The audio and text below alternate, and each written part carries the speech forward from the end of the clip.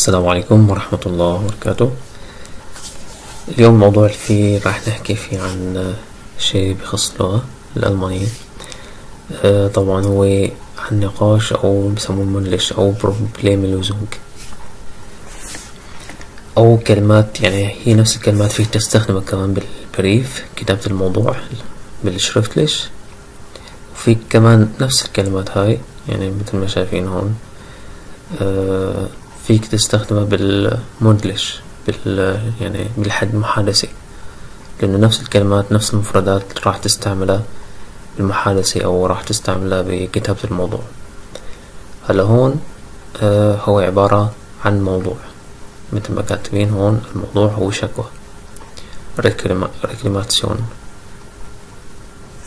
إذا بدنا نبلش هي عن الشكوى. طبعا أنت راح تكتب التفاصيل اللي أنت عم تكتب شكوى بسبب الشكوى اللي هي طبعا آه مثل ما كاتب مثلا كمثال هنا إنه هو حجز عن طريق الإنترنت آه أو شاف إعلان رائع وحجز وكان متوقع إنه يكون مبسوط والحكي هذا. راح نقرأ فورا ونترجم نعمل مترجمة. طبعا الكتابة هون مكتوبة جاهزة. نخدم إيش؟ ihre sehr interessante Anzeige im Internet gelesen hatte, war ich so begeistert, dass ich sofort zehn Tage أو يعني مثلا tätigen Urlaub أو Kurs مثلا إذا بدك تحكي عن كورس فيك تكتب bei ihnen buchte. يعني هون عمل لك بعد ما انه مثل ما شايفين الترجمة هون بعد ما قرأت الإعلان تبعكم كثير أنا كنت متحمس إنه شفته بالإنترنت كثير متحمس وفورا حجزت عشرة أيام الدورة أو هي الكورس يعني أو الاجازه عندكم بالموقع تبعكم آه، هلا هون كمان فيك تستعمل الاعتراض الفقره اللي هي هون أو سردم فارش زير زير انسفريدن إن enttäuschte تن alles was إن إيرم ihrem فر شبروخن haben. Entsprach nicht der Realität يعني هون عم لك آه إنه يعني فوق هالشي هذا طبعا هي هاي الجملة هون بتجي بعد آه بعد ما أنت تبلش بالمشكلة اللي بلشتها. لازم يعني تكتب بين هون يعني بين هاي اللي هون وهاي اللي فوق هون.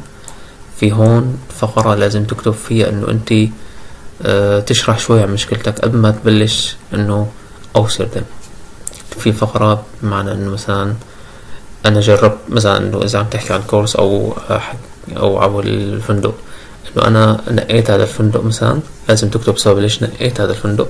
مثلا إنه قريب على مكان تسوق مكان على قريب على السينما قريب على مثلا على البحر.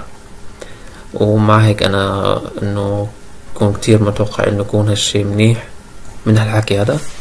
بعدين تكتب هالكلمة اللي هي هون شوي قاسي يعني بتم معنى أنه على وعلى ذلك لم أكن كثيرا انه راضيا وخاب أمل انه كل شيء اللي حضرتوه أو وعدتوني فيه لم يطابق الحقيقة. لذلك مثل ما قلت لكم لازم تكتبوا الفقرة المنسية اللي هون اللي إنه أنت ليش اخترت هذا المكان أو هذا الكورس. لازم تكتب توقعاتك اللي أنت كنت متمنية. نزل تحت هلا. أو نكتب leider entsprachen die Angabe in ihrer Anzeige nicht die Realität und ich habe anders von ihnen erwartet يعني انه ما لقيت الشيء اللي أنا كنت متوقعه أو مثل ما أنا شايفه على الموقع تبعكم بالبرمج بالإعلان۔ وهذا الشيء كان كله ما مطابق الحقيقة وتوقعت يعني أنا شيء تاني من منكم يعني إيش übertreibe nicht bin ich schreibe مثلا das يعني أنا ما عم بالغ وقت كتبت وقت أنا بكتب مثلا بأنه آه إنه تشكل طبعا هون أنا أنت راح تكتب المشاكل مثلا. آه إن إنه مثلا إنه أنا ما لقيت الباص بالموعد المحدد اللي كان بده ياخذني الكورس آه من مثلا من الفندق أو ما لقيت الباص اللي بياخذني من الفندق للشاطئ. أو ما لقيت التاكسي اللي أنا طلبته على أساس إنه تجي عشر دقايق وتجي ما لقيتها في كتير مشاكل تكتبها بهالفقرة اللي هون ناقصة بهون يعني مثل ما شايفين هون. آه طبعا هون كمان إنه أنا كمان بدي أضيف هالشي.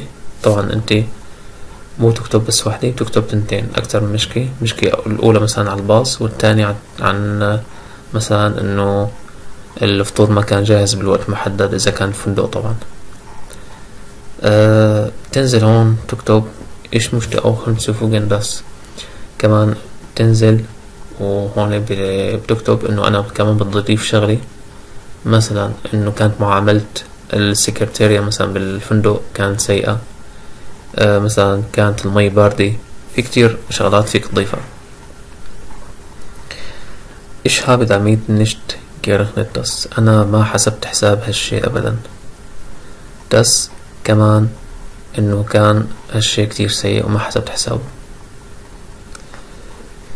تمام. هلأ هون Alles in allem waren diese Urlaubtage أو مثلا Kurstag eine komplett Katastrophe und ich war total unzufrieden مختصر الحكي أيام الإجازة اللي أنا حجزت عنكم أو أيام العطلة أو أيام الكورس. اللي كان عنكم كان بالكامل يعني بمعنى مثل ما بنقول معنى بهدلة أو بمعنى إنه كان Katastrophe كارثة بمعنى الكلمة. وأنا ما كتير ما ماني رضيان أبدا. أو بتكتب مثلا. آه للأسباب المذكورة مثل يعني auf آه Grund أو aus Grund أوس den oben genannten Gründen war يعني بهالأسباب اللي أنا كتبتها اللي ذكرتها لكم.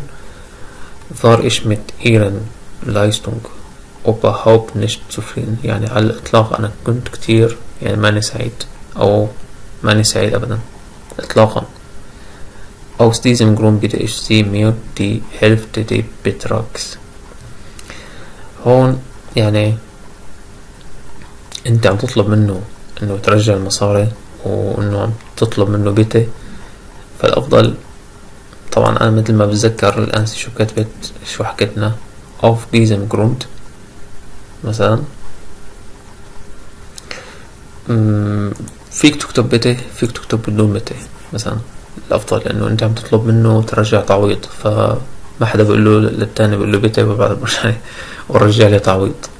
كل الأحوال auf diesem Grund bitte ich Sie هاي إذا كنت طبعا الواحد بنحكي به بشكل عام.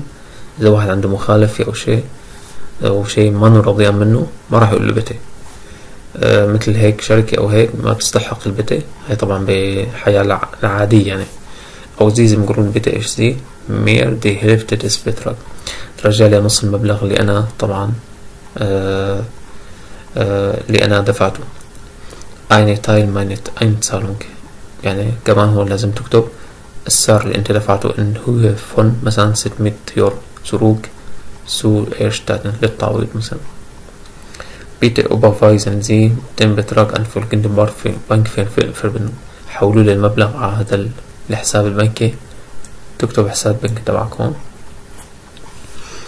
Wenn ich innerhalb einer Woche keine Antwort bekomme, schalte ich meine Anwalt ein.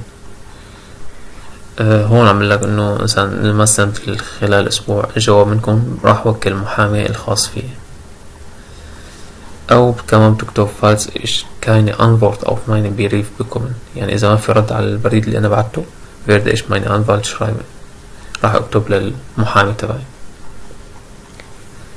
هون عم لك كمان wäre sehr nett wenn Sie meine Beschwerde beantworten würde سيكون إنه من الرائع.